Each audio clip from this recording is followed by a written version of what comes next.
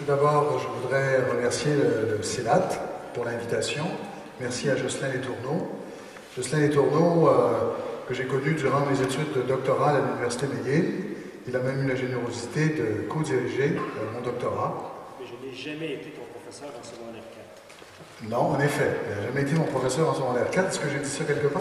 Ça a été écrit comme ça dans l'actualité. Ah bon? Ah bon? Ah oui, c'est vrai, ben, j'avais échappé. Alors, oui, une grosse erreur, en effet. Euh, donc, il a, été co-directeur et est très généreux euh, de ses commentaires et de son temps. Et euh, toujours un plaisir de discuter avec lui, même si, entre lui et moi, il y a une sorte de, je crois que c'est le titre d'un livre, désaccord parfait. Discuter les thèses de Justin Letourneau n'est pas aisé. Dans l'ouvrage qui nous réunit ce soir, le penseur de l'Université Laval s'en prend aux conservatistes, ces avant-gardes nationalistes et autres idéologues renfrognés qui imposeraient une vision figée de l'identité québécoise, arc-boutée à une mémoire nationale vétuste, il aurait même pu dire passé date. Il s'en prend aussi, mais plus timidement, au chantre de l'hybridation et de la transculturalité dont les conceptions s'élèveraient, je le cite, dans le paysage idéal comme une vapeur de salive chauffée par l'intensité des jeux de langage. Magnifique formule. L'homme qui, en ouverture de son livre, souhaite dépasser ces deux positions par trop tranchées, parce qu'il nous aurait entraînés dans un cul-de-sac, comme il le dit, se présente donc à nous comme quelqu'un de modéré et de pragmatique, une sorte de réformiste tranquille, il a utilisé l'expression tout à l'heure, allergique à la radicalité et aux affrontements stériles, soucieux de réconcilier toutes les différences dans une grande synthèse au service du présent. Au service du présent, dis-je, mais surtout soucieuse de passer à l'avenir. Formule létournienne par excellence, ambiguë, éclair, complexe et simple.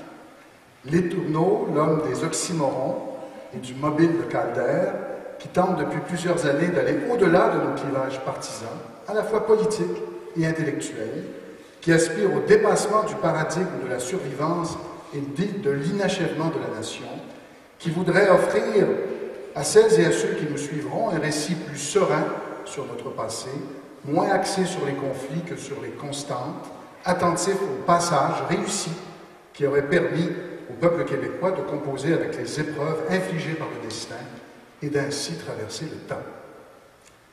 Ce réformisme tranquille, en faveur duquel il plaide, serait celui de la majorité silencieuse, celui du sens commun à la québécoise, une majorité silencieuse et un sens commun auquel, d'ailleurs, il aurait un accès privilégié, qu'il comprendrait mieux que les intellectuels qu'il conteste souvent de façon très forte, comme l'a dit Guy Laforêt, intellectuels qu'il ne prend pas toujours euh, la peine de nommer clairement, ceci dit. Que dire donc de cette œuvre ambitieuse et iconoclaste, audacieuse et provocante, qui surplombe notre histoire, espérant y trouver une trame nouvelle et plus appropriée aux enjeux identitaires d'aujourd'hui, qui émaille ses textes de formules inusitées, de parenthèses en italique, de concepts nouveaux, étonnants, enracinérance, par exemple. Enracinérance, enraciné et itinérance. C'est intéressant, c'est toujours cette volonté d'aller au-delà des concepts qui nous sont donnés pour essayer de, par les mots, créer parfois, de comprendre mieux la réalité. Donc, que dire de cette œuvre, sinon une chose fondamentale avec laquelle j'ai eu parfois des discussions, mais sur laquelle je vais me pencher. Je pourrais, dire énormément de choses, je vais me pencher sur une seule chose, c'est cette idée toute simple que la mémoire et l'histoire sont deux choses bien différentes. Je sais qu'il le sait, mais je vais m'expliquer. Une chose me frappe à chaque fois que je lis Justin Tourneau, justement, c'est, me semble-t-il, l'absence de distinction entre histoire et mémoire. Il utilise souvent l'expression l'une à la suite de l'autre. L'histoire et la mémoire. L'histoire et la mémoire. C'est la même chose, d'une certaine façon. Euh, où il amalgame les deux concepts presque toujours dans ses écrits. La mémoire du passé, reconnaît-il, précède la connaissance de l'histoire proprement dite. Elle est antérieure à l'apprentissage des événements les plus importants, antérieure à une connaissance minimale de l'historiographie. Nous, Québécois, avons hérité d'une mémoire du passé. Dans son chapitre 2, notre auteur décrit les quatre, les quatre temps de ce récit, inspiré d'ailleurs par une consultation, hein, par des, des, sondages, je crois, que tu fais depuis des années auprès des étudiants de première année. Temps 1 de ce récit, émergence d'une société nouvelle et paisible, la Nouvelle-France. Temps 2, retournement provoqué par la conquête, danger d'assimilation, lutte pour la survivance. Temps 3, recommencement ou reconquête grâce aux réformes salvatrices de la Révolution tranquille. Temps 4, hésitation, dilemme entre le Québec ou le Canada, absence de conclusion. C'est là le récit que Jocelyn Letourneau dégage de ces copies d'étudiants de première année qui arrivent d'une certaine façon avec une perspective un peu vierge, sans avoir été exposés euh, au cours d'histoire universitaire, et ce récit revient année après année depuis qu'il a commencé sa carrière, me dit-il.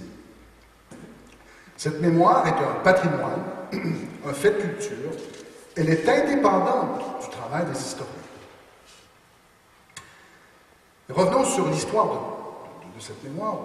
C'est principalement par devoir de mémoire, ou pour servir cette mémoire, que les États-nations vont, à partir du 19e siècle, doter les grandes universités de chaires de recherche en histoire. Il s'agissait le plus souvent d'asseoir la légitimité de la nation, la nation comme justement comme communauté de mémoire et de destin, sur une lecture téléologique de son parcours historique, de consacrer par l'étude minutieuse des grands événements et des grands personnages du passé l'avènement de la nation et de lui assigner souvent une vocation unique, une destinée imminente. On pense ici à des historiens comme Bancroft pour les États-Unis, Michelet pour la France, Macaulay pour la Grande-Bretagne, et bien sûr, notre historien national du XIXe siècle, François-Xavier Garneau, un, Québécois. L'histoire universitaire s'est peu à peu affranchie de cette mémoire nationale. Les historiens, protégés par leur liberté académique, soucieux de s'ouvrir à d'autres réalités, et aussi d'être reconnus par leur père, plus soucieux d'être reconnus par leur père que d'être vus par le grand public, ne se sont plus perçus comme les fiduciaires de la mémoire nationale. On vient même à peser sur l'histoire nationale un lourd soupçon, celui d'avoir gommé la présence des femmes, des ouvriers, des marginaux, celui d'avoir été le relais du pouvoir, d'avoir servi les puissants. De sorte qu'en prenant plusieurs raccourcis, on n'a pas beaucoup de temps, je dirais la chose suivante. Si au départ l'histoire se mit au service de la mémoire nationale, elle devint plus tard l'une de ses adversaires les plus résolus, à tout le moins dans les milieux académiques. Le passage de l'histoire nationale à l'histoire sociale, qui se produit essentiellement après la Deuxième Guerre mondiale, est à cet égard très emblématique. Elle ne témoigne pas seulement du progrès de la recherche, mais d'une nouvelle posture d'intellectuel dans la cité aussi.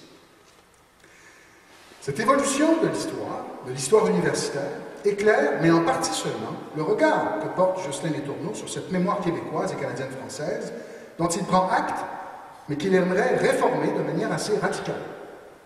Elle éclaire de la même façon l'entreprise de Gérard Bouchard, même si elle ne visait pas celle de Gérard Bouchard, les, euh, mêmes finalités que celles de Jocelyn Letourneau. Ce qui est très intéressant, c'est que durant les années 90, quand j'ai commencé mes études de, doctorat, vous, vous, aviez un colloque sur la question du rapport au passé, la question des identités.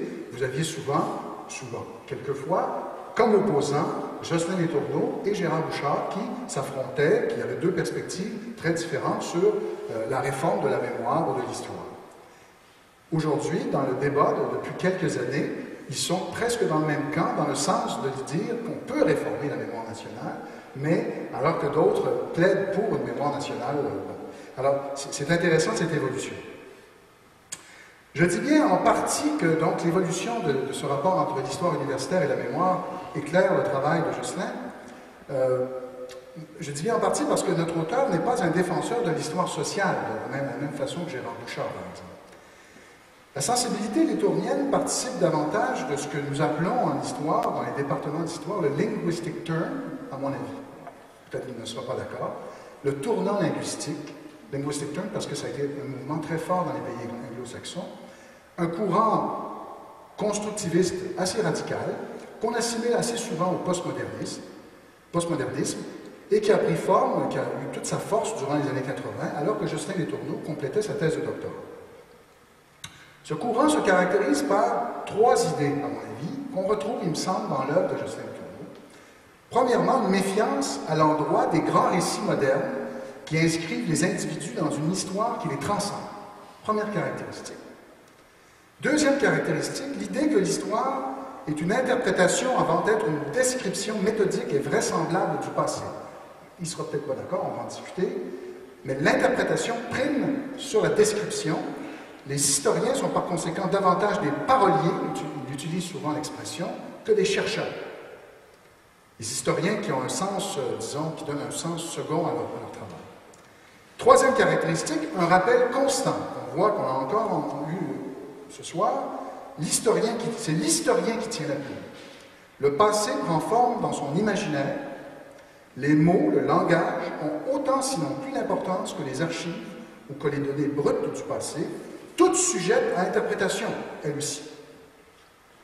Il nous dit, il y a une limite au relativisme, mais, il y a beaucoup de mais. L'histoire, telle que la conçoit notre auteur, est affaire de volonté et d'imagination. Il utilise l'expression on adhère dans le récit on offre un tel ou tel récit plutôt que tel autre pour se conformer à telle ou telle valeur porteuse d'avenir. Les mots ne font pas que décrire la réalité, ils la transforment, car ce sont les mots qui dénouent les impasses ou permettent d'envisager un monde nouveau, comme il tente de le montrer, dans mon avis, dans son chapitre 10, consacré à la littérature migrante, probablement le, chapitre le plus fouillé de son, de son ouvrage. C'est très intéressant. Le problème, et notre auteur en est bien conscient, c'est que même boudée par l'histoire savante, qu'elle soit d'inspiration moderniste à la Gérard Bouchard ou postmoderniste à la, à la Jocelyn Tourneaux, la mémoire nationale ne disparaît pas. Elle est même relayée par d'autres canaux, le cinéma, le roman, la presse. Elle trouve aussi ses journalistes biographes qui rencontrent un large public. Ces historiens publics, tels Jacques Lacourcière ou Denis Vaugeois, produisent des synthèses très populaires et de qualité que notre auteur juge toutefois trop romantique et descriptive. Comment dès lors contrecarrer cette mémoire, cette épistémie, hein, cette, cette épistémie qui date, selon notre auteur? Comment présenter un contre-récit plus conforme à ce Québec nouveau en train de naître au cœur de cette Montréalité avant-gardiste des quartiers multiculturels? En somme, comment, par l'histoire, permettre aux Québécois de passer à l'avenir? Réponse de Justin Letourneau en lui offrant un nouveau cours d'histoire à l'école, secondaire 3 et 4, et en lui offrant de nouvelles interprétations du passé. Jocelyn Letourneau a été un défenseur, il nous l'a dit tout à l'heure, du nouveau programme d'histoire au secondaire qui, dans sa version originale, présentait la conquête sous le titre L'avènement de la démocratie canadienne et gommait complètement, à mon avis, l'infériorité économique des Canadiens français qui expliquait en grande partie le sens que donnent les Québécois à la Révolution tranquille. Alors que dans le programme, la Révolution tranquille, c'était uniquement l'avènement de l'État-providence, phénomène tout à fait typique à l'Occident. Je pourrais vous en parler longtemps, j'ai fait, euh, j'ai réfléchi à ce programme.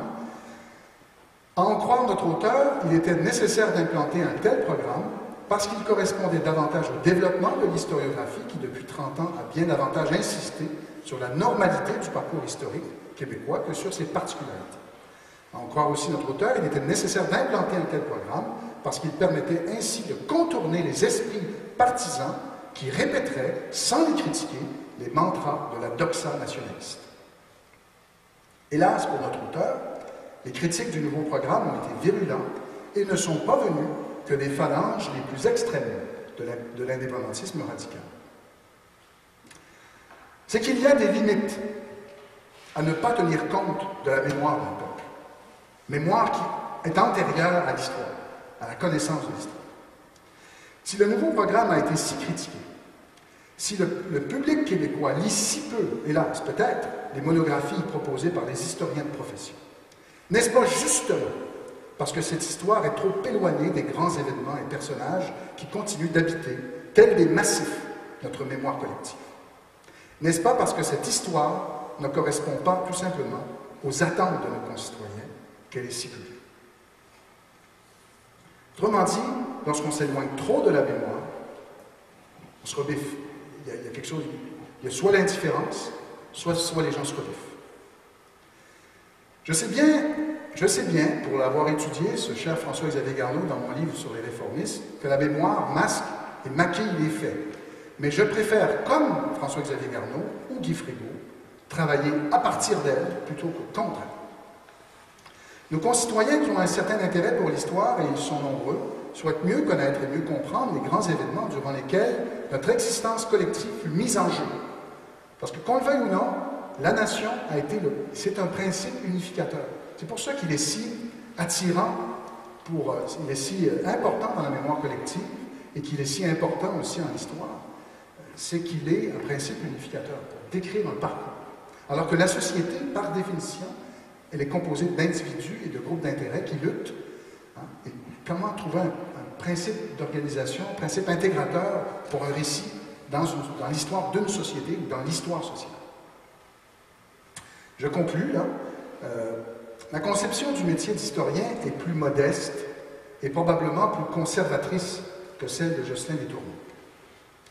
Comme lui, et là je fais référence à son petit texte en exergue du livre, comme lui, j'écris l'histoire pour mes enfants et ceux qui suivront.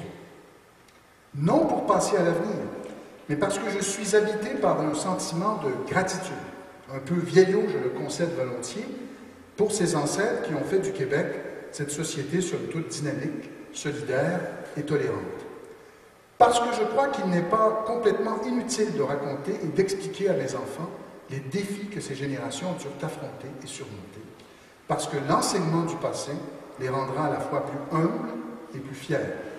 Plus humbles parce qu'elles montrent que d'autres sont passés par là avant nous, et, plus fiers peut-être parce que ces défis ont été surmontés. À mon avis, c'est déjà beaucoup. Je laisse l'avenir, quant à moi, je laisse l'avenir au prophète. Merci.